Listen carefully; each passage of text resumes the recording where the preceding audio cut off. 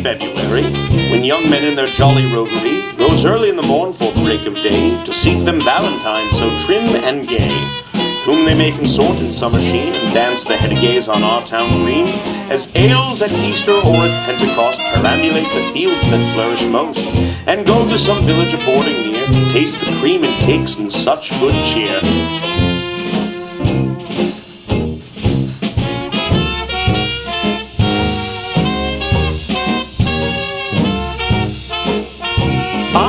Her so earnest for the box, gave her her due, and she the door unlocks.